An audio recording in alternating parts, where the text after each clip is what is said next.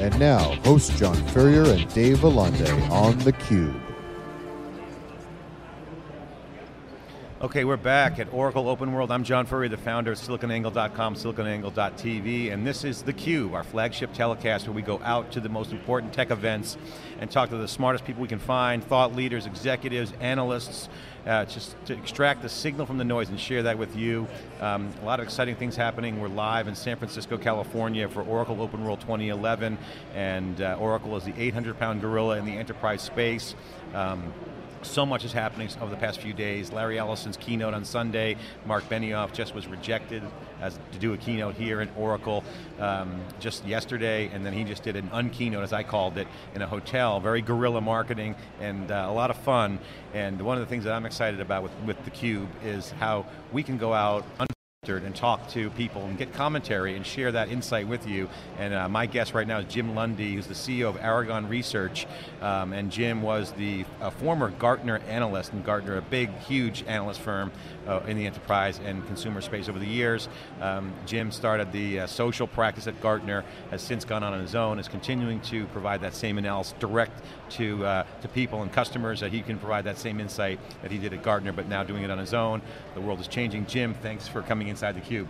Hey, John, great to be here. And you know, it's been a fantastic week here at Oracle World. I've been, I think this is, uh, I've been to nine of the 11. Uh, but you know, you mentioned uh, relative to the un, the unconference this week. Uh, you know, three years ago when I went to Dreamforce, I was the only Gartner guy that went because they couldn't get anybody to go because it was boring. And then this year, you know, they kind of rocked, they rocked it.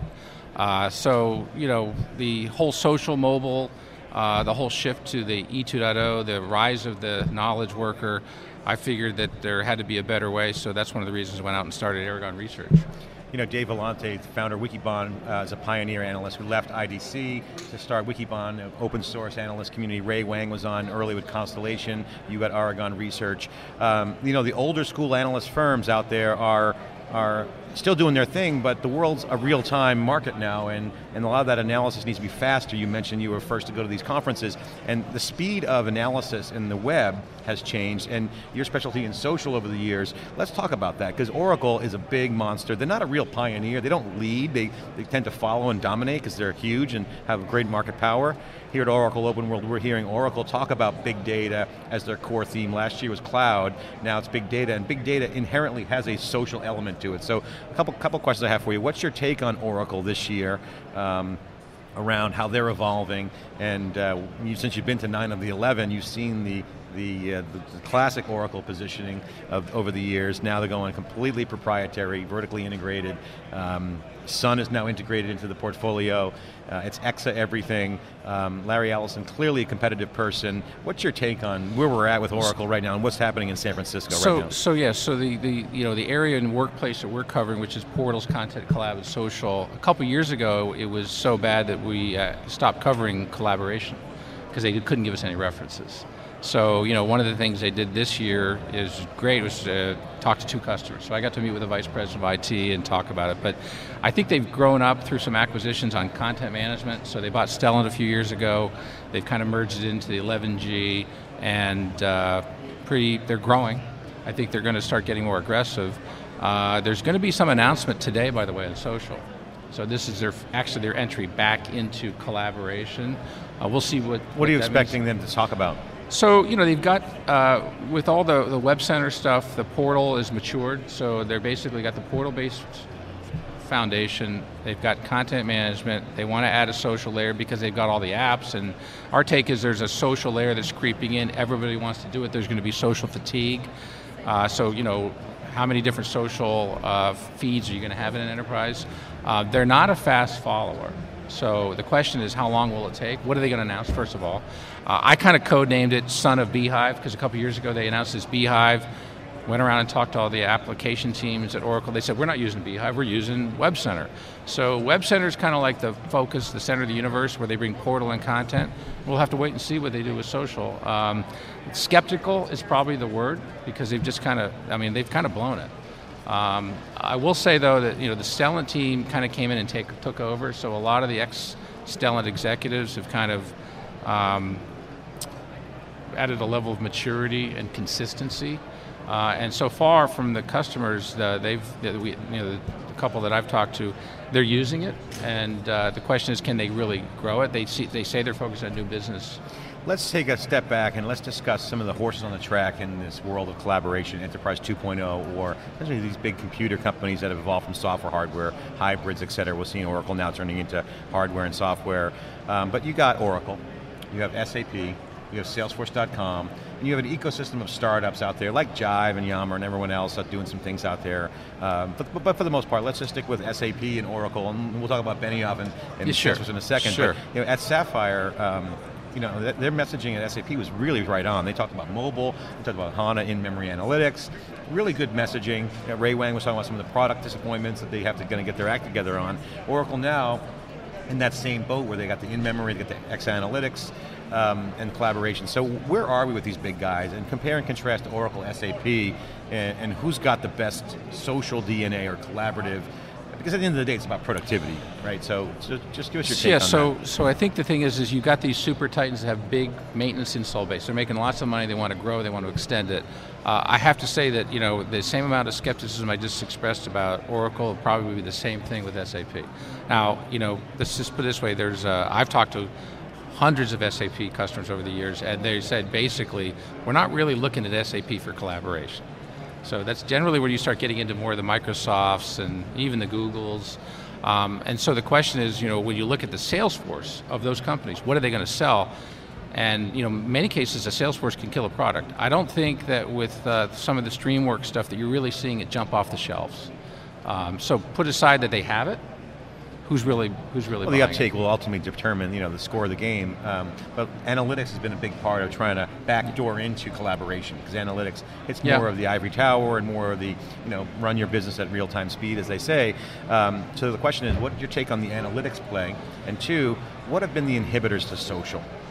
So, so in the analytics, uh, there's so you look at the traditional BI, which is, hey, I could give you dashboards, I got a data warehouse, all that sort of stuff. And then I think the other thing when you weave in the social thing was, what about social analytics? And I think a lot of the BI firms are still, you know, SAP does have some very interesting stuff there. It's uh, healthy on the price point side. So, I, a lot of the social firms today are just getting started in people analytics. You know, you know who your who are your followers and all that. Not not just how many connections you have, but what are they doing, how are they influencing you, and things like that. That's a whole new category, and a lot of the people are still trying to figure that out. On on the social thing, I guess the thing I would say is it's still early days. Uh, you got Jive, you've got IBM, you've got um, Microsoft. If you throw in a little NewsGator, because usually it's SharePoint with NewsGator. Uh, we'll see what Cisco's going to do. I mean, Cisco's out there. You've got 50 other firms, most of which are probably not going to make it. Has social or enterprise 2.0, I mean, we kind of use that interchangeably, but when we say social in the enterprise, it's really about you know, the enterprise 2.0 story, which is about collaboration, making people more productive, right? Productivity. Um, you know, YouTube, Facebook has been criticized, and you know, Zynga obviously is the poster child for you know the, the time wasting uh, mentality, and a lot of companies block these sites. So now they're going to actually roll out social and collaboration inside a company. It's not that easy. So just tease out the critical success paths that a company needs to do to kind of really put in real collaboration. And if you can, compare and contrast what's changed from just three, four years ago to like now. Well, a couple, a couple years ago, I used to show a diagram which was three circles, which was the enterprise social, externally facing social, social communities, and social media. And it was kind of like, okay, it's all one big happy family, which you've heard from some vendors say, oh, we'll merge Facebook in, you can look, bring the profile information in. Uh, the world has gotten nasty in the last three years, and you know the great hack of Google. Um, you know, the guy that ran the password control system at Google was hacked because his Facebook, you know, he was penetrated via Facebook instant messaging. So our take is that Facebook for enterprise use is not a good thing, except unless you're the marketing CMO and all that. Sales CRM, yeah, you might want to import profile information, but for most enterprises, I've talked to a lot of CIOs, they are blocking it. Now, our take is there's three approaches. You can ignore it. Most people are ignoring it today. You can block it, government, defense. There's a new way, which is application firewalls, where you can actually manage it. So you can make it read-only. You can still let your your employees see what their kids are doing, because that's what the parents are mainly using it for. But on the success factors in the enterprise, one of the things that, that we've seen is if you don't feed content into a community, it dies. So sharing a little bit of content, rating content, which is kind of like gets into the you know, will SharePoint really grow up and, you know, because it's a content source, will that be one of the things down the road? But over the years, one of the things, in fact, uh, you know, you look at activity feeds versus email, one of the notes where you have that's coming out says, will social networks replace email? And our take is it won't, but email will change. So really, to be honest with you, a lot of uh, the CIOs I've talked with, they say, are we going to fail with our social network? And my question is, what's your use case? And most of them don't have one. So when you don't have a use case, you end up with what I call the wiki graveyard. So you build it, Yeah. everybody came, and then it died. Yeah, it's like a bad nightclub. You know, you, have, you invest Very all this bad money, nightclub. and you have a little party, opening night, and all of a sudden it's like dead. Yeah. Um, well, let's talk about that. Let's talk about the whole dynamic. And, and those are great points, by the way. And I, and I just came from the Salesforce.com on Keynote. Um, they talk a lot about chatter and social. And let's just take the use case. And I, and I think I would agree with you that the use cases are kind of unclear. Mainly people don't know what the use cases are. And a lot of times, like with big data, they've never had a situation to analyze before. So let's just take the simple example of, of the workforce. The makeup of the workforce has changed. Consumerization of IT is driving a lot of this consumerization trend. But um, companies have telesales organizations, they have marketing people. What do you say to the young guys coming in? So people who are hiring right out of college, 23, 24 year old uh, kids, younger workforce coming in, they're really not used to the blocking and tackling, let's just say like telemarketing. Yeah. Here's the email blast. This is, this is old tools. They're on Twitter. They have certain capabilities. They read RSS feeds. They're very savvy with blogs. Yeah. They have good communities. They have reach into peers and networks. So inherently, the social DNA of the new workforce is changing. I'm old enough to know where email was text-based. Now it's all you know better. But for us, email's great. But for younger kids, like, okay, email's there. I communicate on email, but I got to wear a headset. I got to call people on the phone. Will you buy my product? I mean, that affects lead gen. That affects the business. I got to enter that into Salesforce. Uh, well, so I Yeah, had. I mean, to me, even an example, Salesforce is irrelevant. So Yeah. in that case, it's like, oh, Salesforce, what a pain in the ass that is. So okay, Yeah. so Well, you know, the interesting thing is, I so you know, I've got teenagers, but I had an intern last summer, right? And I was walking him around, and he was kind of looking, and he, he kind of looked stunned. I said, "What's the matter?" He's like, "Well, everybody's sitting there, and they're just reading email." I said, so, I said, and I said, "You're not comfortable with that." He said, I, "He goes, I've, and he never used Outlook. He had never used Outlook." So I said, Oh "You'd be more God. more comfortable posting on the wall." He goes, "Well, could you communicate with me that way?" Because we had a social network. I said, sure. So that was the way we communicated. Was I would post on his wall and he would reply back. But um, the But this is a real dynamic, though. This is not. This is just. This is the new generation. You know, even talking with people here, you know, some of the analyst relations people, they said, look, I can't even get my uh, my au pair to respond an email. I have to text. So it's a texting generation. It's a wall posting generation. I do think, you know, the interesting thing is as mobile comes more online. I met actually at uh, some recent events, some startups where they can basically have a touch-based UI on top of things like Salesforce, so that a young Yeah. gun gunslinger that just has to do touch-based stuff. But I do think that we're entering a big, big shift and usability. You agree that the younger generation has awkwardness to the to the old ways, right? they've they've totally rejected. it. Okay. In fact, they, they my kids have said, "Dad, I don't know how you could ever how could I, how could I ever work that way? Just sitting there doing email." Okay, so let's take it up a notch in terms of um, the analysis. Okay, so we have that. That's cool. Okay, the, we've been talking about on SiliconANGLE the whole user experience generation, and there's a lot of messaging from the big guys. Oh yeah, well the user experience mobile. Mobile's exploded. The iPhone now, the iPad has set up this user interface dynamic at the edge of the network. The user, the consumer of IT, um, and so they have access and they want a certain user experience. So one of the things I liked about the Salesforce.com message was the Heroku message, which was, hey, application development is going to be a really big part of IT. You mentioned earlier that one of the approaches is application firewalls. So what are the developer communities like within these enterprises? How is that changing some of the E 2.0 transitions from the initial um, E 2.0 positionings to the reality that now Facebook, Twitter, mobile is much more per, uh, pervasive? Um, and are you seeing anything on the developer side? Obviously, Heroku is a great example of using cloud to boot up applications. How real is the enterprise with with uh, developers? So uh, that is the, that's one of the biggest issues facing IT executives, which is how are we going to retool our workforce? Uh, the Heroku, I thought the, the demo they gave where the, you can now submit a real Java app, so there's no recompile, it's a native Java app, and that made life for developers a lot easier. Um, but you know, you get into E E2.0, you get into are you going to are you going to write that app for um, the iPad in Objective C? Um, can they write in Objective C? And a lot of them cannot. Yeah. So, you know, the biggest thing which, you know, I think that came out relative to why is Facebook using Force.com as far as developers, speed. And the biggest thing for mobile apps is speed. Besides, besides the assumed UI and it's got to be easy, it's got to be super fast. So some of these apps, I even go around and I touch them and see, I start counting how many seconds does it take for the app to launch, to, to make the connection to the platform. If it's taken more than five or six seconds, I walk away. Yeah, yeah, yeah.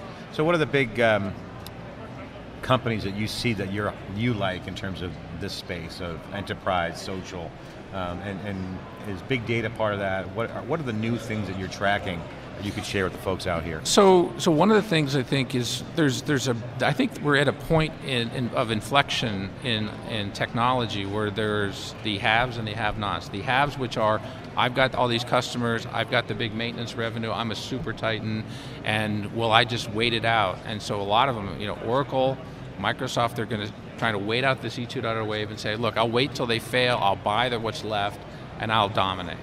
And the question is, is there enough innovation and enough independence and lack of exit strategy? So will all the VCs that are funding all these startups, is the, is the exit strategy to sell to Oracle or to remain somewhat independent? And uh, you know, the good news is for some of the PaaS platforms, so you've got, you know, you've got Force, You've got Azure, which you know uh, Apple's going to use a little bit of. You've got Amazon out there, and all the startups basically can't afford to develop their own cloud infrastructure. And to be honest with you, any startup that says, "Oh, we have a cloud," is pretty much lying because they barely have hosted. So the question is, as these new ecosystems evolve, um, a lot of them will have enough revenue living off of Salesforce, living off of Oracle. Look at the event here, all these partners, they're part of the ecosystem. I think the big question is, is you know, for people like Microsoft, are they going to get it? To be able to move fast enough to keep up with this. And the question for Oracle is, is Oracle going to make, really make a true shift to cloud? Let's talk about Marc Benioff right now. So he obviously has was rejected on the keynote. Um, he has a guerrilla press conference slash on keynote at the St. Regis. Uh, SiliconANGLE was break, broke that news. We were front row. He streamed it live. I got an interview with Marc.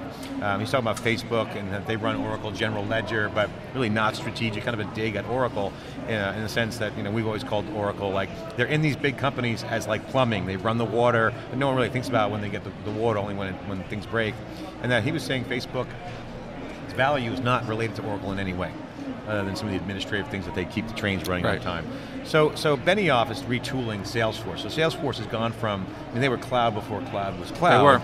Um, but then had to retool, redo their code base, which uh, was disclosed by him at, uh, at a conference. And now they got Chatter, they got an investment in Box.net, clearly moving in this direction to target this new workforce, uh, to make Salesforce.com modern. Um, what do you think about Benioff's uh, personality, his mojo, and his chances for success with Salesforce? Well, you know, it's interesting. If you compare and contrast this year, 2011, with even two years ago, 2009, right? He still had Neil Young there. Uh, I mean, but this year they cut him off.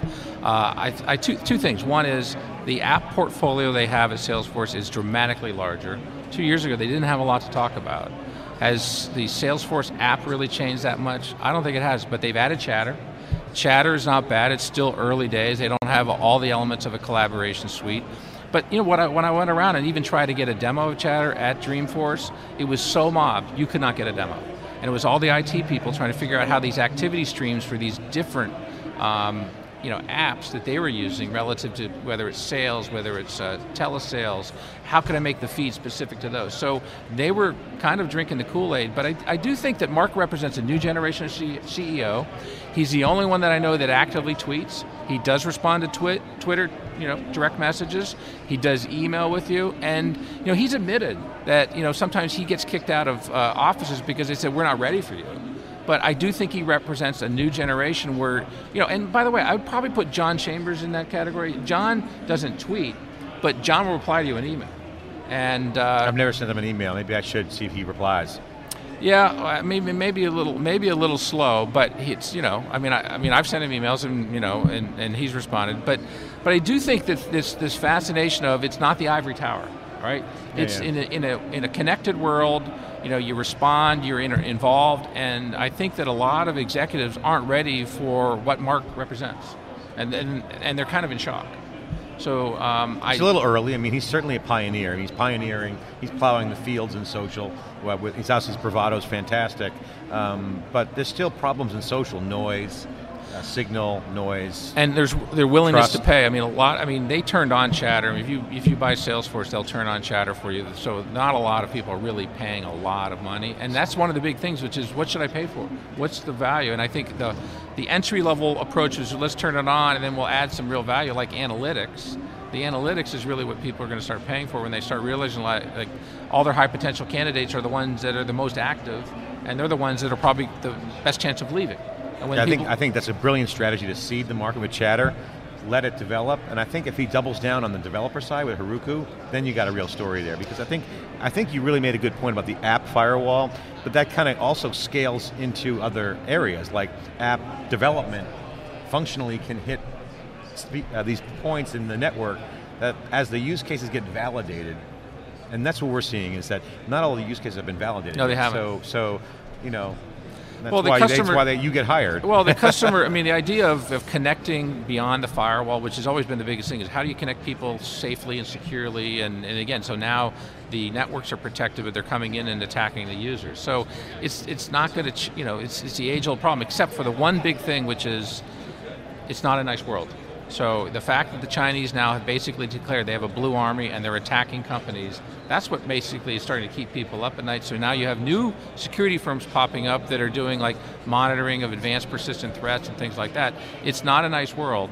And uh, you know, so social's going to be out there and continue. The one thing I would say though is uh, you talk to a lot of firms that maybe aren't doing CRM, and they'll basically say, well, you know what, if you're outside of Salesforce or Siebel, that's just CRM, and you know that's just part of the organization. What about the rest of it? And you know the use cases are still emerging, but engineers love to do social networking. It's a way to get projects going faster. They like wikis, structured wikis, uh, but it's still very early days. A lot of people are not comfortable doing anything but email. Um, but guess what? Their kids are dragging them into it.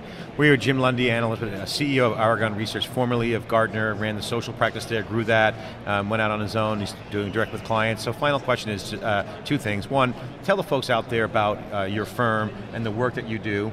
And then two, some of the things that you advise companies that are kicking the tires, obviously the line for chatter is an indicator that social is hot, some engineering things to think, figure out, activity streams, et cetera, you mentioned. So just uh, end, end the interview on what, you, what you're actually um, doing Yep. as a firm, and two, the key things that you're seeing that are the hot areas to start working on right now that have the most demand and uh, solutions for.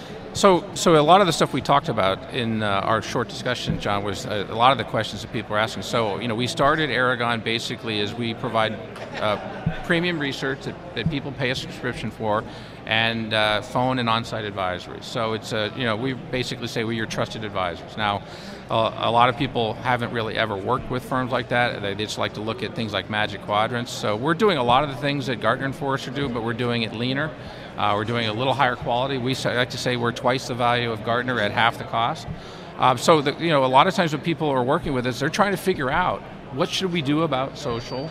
We've got all these legacy things. How do we integrate it? And uh, so those are some of the things that we have the discussions on. And what are the key areas that are the most hot right now that on the on the broad client base and, and customers out there that you talk to where that you're engaging with them that are that are really active, active areas that that'd be a good lesson for other folks well, out there. Well so you know, for example, I mean, you know, the idea of uh, our Salesforce is going to use tablets, and we need to find tools that will work with the tablets. So you know, firms like Box are you know coming up. Salesforce is coming up.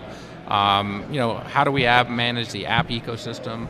Uh, so basically, trying to navigate that a little bit. Uh, how do we do knowledge transfer to workers relative to the workplace, and what's the role of video? Um, but the, the, I think the big hot one that you say is coming up over and over again is they're struggling to say, what do we do about this mobile revolution? And the users are bringing the devices in, and they're really struggling. It's not about the hardware; it's about navigating that and figuring it out. And and by the way, their biggest supplier, um, Microsoft, is a year away with Windows 8, and that's put them in a real, real tough jam. Okay, we're inside the cube with Jim Lundy, CEO of Aragon Research, uh, and industry analyst out there, um, talking to the top top firms. Making the social happen. I'm John Furrier with SiliconAngle.com for continuous coverage of Oracle Open World in San Francisco, California. We're live broadcasting for three days, uh, eight hours a day. Go to SiliconAngle.com. You'll find all the breaking news. We broke the story about uh, Oracle and Benioff and Salesforce. We're breaking stories left and right. Alex Williams, Klint Finley, Kristen Nicole, the entire team out there doing work, and uh, the folks at Wikibon doing the research. Uh, we had Ray Wang on and Jim Lundy here, the industry analyst. So thanks for watching. We'll be right back uh, with more from Oracle Open World 2011.